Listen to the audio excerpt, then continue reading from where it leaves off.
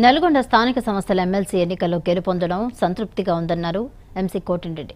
అయితే ఈ గెలుపును సీఎం కేసీఆర్కు మంత్రి జగదీష్ రెడ్డికి కానుకగా ఇస్తున్నామన్నారు. నాగార్జున సాగర్ నియోజకవర్గ సమస్యల పరిష్కారానికి కృషి చేస్తానని టీఆర్ఎస్ పార్టీకి ఓట్లేస్తేనే అన్ని సమస్యలు పరిష్కారం అవుతాయని భావించి తనను గెలిపించాలని చెబుతున్న కోటిరెడ్డితో మా ప్రతినిధి Ramu face to face. MLC ఎన్నికల్లో టీఆర్ఎస్ అభ్యర్థి ఎంసీ కోటిరెడ్డి ఘన విజయం సాధించారు. తన సమీప ప్రత్యర్థి నగేష్ మీద ఆరు వందల తొంభై ఒక్క ఓట్ల భారీ మెజార్టీతో విజయం సాధించారు. ఈ నేపథ్యంలో ఆయన మనతో పాటు ప్రస్తుతం ఉన్నారు. వారిని అడిగి మరిన్ని వివరాలు తెలుసుకుందాం. చెప్పండి అన్న ఈ విజయాన్ని మీరు ముందే ఊహించారా? ఇంత భారీ విజయం ఏ ఏ విధంగా అనిపిస్తుంది? ఇది ఈ విజయం మేము ఊహించినటువంటి విజయమే. టీఆర్ఎస్ అభ్యర్థిగా నన్ను మా గౌరవ తెలంగాణ రాష్ట్రం అధ్యక్షులు అభ్యర్థిగా ప్రకటించిన రోజే ఈ విజయాన్ని మేము ఊహించినాం. కొత్త ఏం కాదు. విపక్షాల ఎత్తులు కూడా ఆ రోజే గమనించాం. మేము ఎన్నికల సమావేశంలో చెప్పినాం.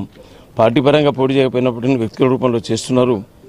ఏదో టీఆర్ఎస్ పార్టీని కొంత అప్రతిష్ట పాలు చేయాలి అంతో ఇంతో తగ్గించి వాళ్ళ ఓట్లు వాళ్ళు వేసుకొని మా దాంట్లో ఐదో పదో గుంజుకొని చేయాలనేటువంటి కుట్రలను మేము ముందుగానే పసిగట్టి వాళ్ళ ఓట్లని మేము వేయించుకోగలిగినాం.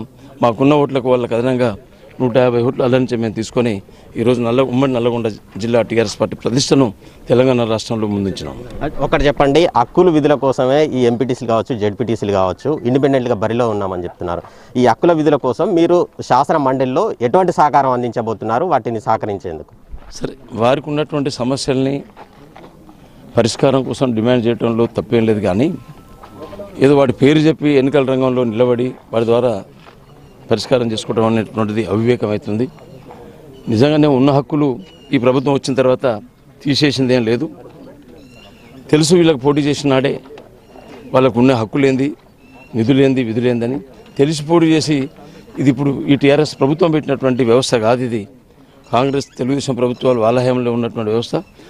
అప్పటికి వాళ్ళకు ఉన్నటువంటి హక్కుల్ని టీఆర్ఎస్ ప్రభుత్వం ఏం తీసేయలేదు ఏదో అందరూ ఒకటే వాళ్ళకి తోచిన పద్ధతిలో ముందరికి ప్రయాణం చేసినారు తప్ప అది ఒక అవివేకమైన చర్యగా నేను భావిస్తున్నాను ఓకే మొత్తానికి మొత్తానికి భారీ విజయం సాధించి ముందు అనుకున్నట్టుగానే తాము విజయం సాధించామని పక్క ప్రణాళికతో ముందుకు పోవడం వల్లనే విజయం సాధ్యమైందని చెప్పి చెప్తున్నారు. అదేవిధంగా ఎంపీటీసీలు జెడ్పీటీసీలకు సంబంధించినటువంటి స్థానిక సంస్థలకు సంబంధించిన ప్రజాప్రతినిధుల హక్కుల విధుల కోసం తాను శాసన మండలిలో తాను కూడా పోరాడతానని చెప్పి చెప్తున్న పరిస్థితి కనిపిస్తుంది. కెమెరామెన్ మధుత కలిసి రామో సివియా న్యూస్ నల్గొండ.